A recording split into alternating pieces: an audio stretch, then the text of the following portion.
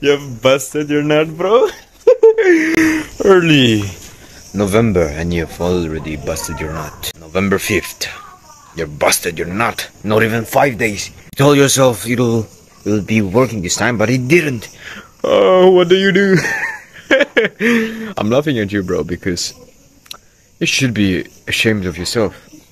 like, I'm not gonna be one of those guys that don't like, yo, I know you've busted your nut. I know you have relapse. Don't feel bad, bro. Don't feel guilty, bro. You should be genuinely feeling bad for yourself. Is this what your bloodline, your ancestors have fought for? Here is you. You cannot even control your PP for five days. Want to make this clear.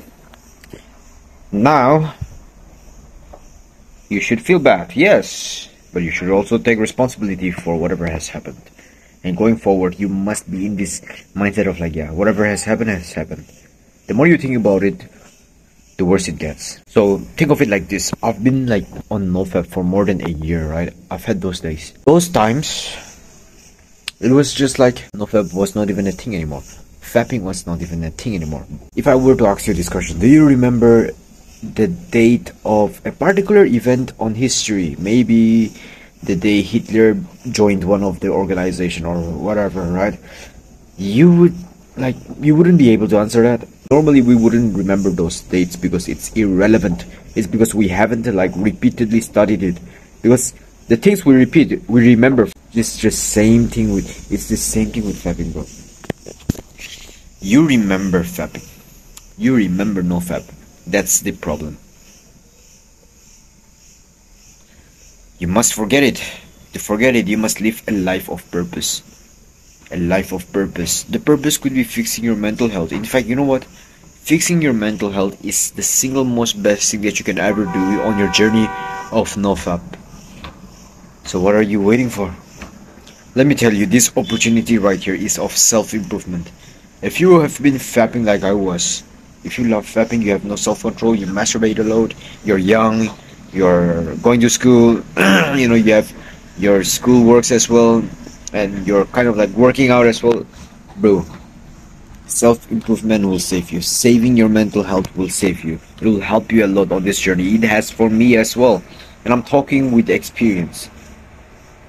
You must take this new new step, become a new person, a person that fixes his mental health. Because the thing is, people try to like quit quit fapping. Bro, how are you gonna quit fapping? You struggle with mental health issues. You may think that you don't have mental health issues, but bro, if you if you find your tendency to derive i mean to not derive but to indulge in instant gratification pleasures bro there's some issue maybe your dopamine dopamine receptors are fucked up so you try to seek pleasures from you know masturbation and porn instead of just doing real work real tasks getting shit done in real you know completing your studies getting good grades in your exam. Those are the real dopamine. And self-improvement is the key to fixing your mental first. Because as long as this is bad no matter what tactics you're trying on nofap it wouldn't work bro. So step number one work on your mental health. Be responsible that you have lost. And be also accountable that it would not happen again. Just just take it lightly bro. Uh yeah i'm just fapped uh yeah it's it was just an oopsie right but uh, you should genuinely be concerned bro like fuck fapping at this day and age, you're fucking losing. I'm gonna be honest, you're fucking losing if you're doing that. There's like a race to be won.